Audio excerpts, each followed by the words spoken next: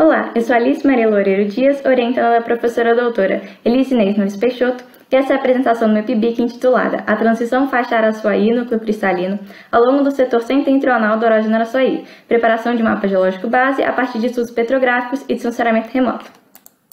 Então, o objetivo desse trabalho consiste em elaborar um mapa geológico base da região, a fim de entender como ocorre a transição entre a zona cratônica para o núcleo cristalino a partir de mapas publicados anteriormente, da identificação dos principais litotipos da região e de como eles se apresentam em imagem aérea. Para isso, é preciso entender a estrutura geral da região através da descrição dos lineamentos estruturais para interpretação, observar quais rochas afloram no local e como elas afloram na imagem de satélite por meio da descrição detalhada dos litotipos do local e, e, por fim, associar os dados levantados em campo com as informações adquiridas por sensoriamento remoto, para produzir um mapa geológico base da área, destacando os principais domínios geológicos e a transição cratônica para o núcleo cristalino. A área de estudo se encontra no contexto geológico regional do Orógeno Araçuaí Congo Ocidental, formado durante a amalgamação do paleocontinente Gondwana. É, em relação à localização geopolítica, é, o Orógeno Araçuaí se estende pelo Espírito Santo, leste de Minas Gerais e sul da Bahia. Aqui podemos ver na direita a área destacada em coordenadas UTM e, primeiramente, traçou os lineamentos estruturais da região, destacados aqui em vermelho,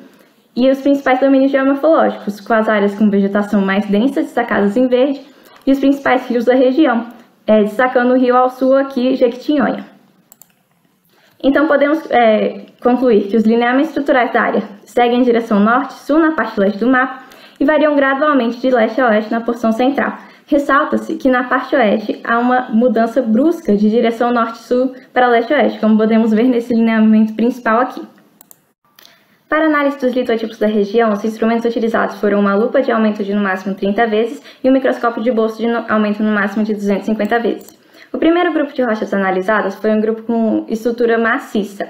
e destaca-se a rocha calciciliclástica com granulação média com porfiroblasto de anfibólio, um metadiamictito com textura granoblástica e composição mineral de feldspato, quartzo, biotita, cianita e presença de microveios de quartzo com pirita, um metagranito com textura granoblástica e granulação fina muito fina. O segundo grupo de rochas analisados é, apresentaram estrutura de xistosidade. Destaca-se a cianita xisto com é, textura de matriz lepidoblástica com porfiroblastos não orientados de cianita, a granada saurolita xisto com textura lepidoblástica e granoblástica com porfiroblastos de staurolita, é, destacando a presença de lineação, em que em uma face podemos ver é, pontos da, dos minerais micáceos e na outra a formação de linhas, e a silimanita xisto com textura lepidoblástica e composição mineral de biotita, muscovita, feldspato, quartzo e silimanita. E a presença de granulação, onde é, essa xistosidade foi dobrada. O terceiro grupo de rochas analisadas consistiu nas rochas com formação de bandamento, a primeira ortognite apresenta um bandamento de quartzo feldspato na camada clara e biotito e anfibólio na camada escura. A segunda amostra, o migmatito, apresentou estrutura com bandamento, com bandos variando do cinza claro com quartzo feldspato ao cinza escuro com biotita, e a sua composição mineral com granada, feldspato, quartzo, biotita e cordierita.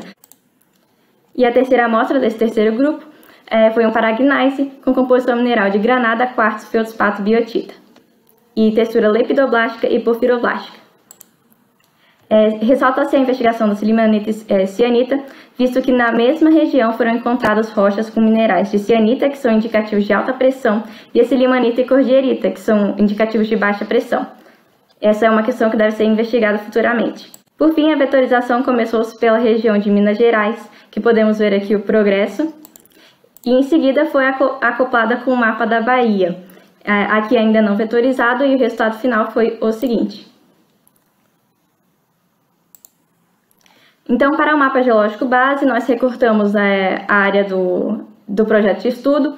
e nós podemos ver aqui destacado na, na região onde afloram o grupo Macaúbas, o embasamento paleoproterozoico, a formação Ribeirão da Folha, a formação Chapada da Cauã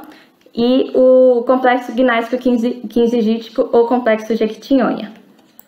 Por fim, delimitou-se o limite faixa-cráton com a ajuda dos lineamentos estruturais. As estruturas possuem direções noroeste e sudeste, as rochas na região têm grau metamórfico de médio a alto grau e ressaltam-se indicativos de ambientes de alta pressão e alta temperatura. As rochas supracrustais não podem ser distinguidas na foto aérea, provavelmente porque elas estão em alto grau metamórfico, saltando sua estruturação.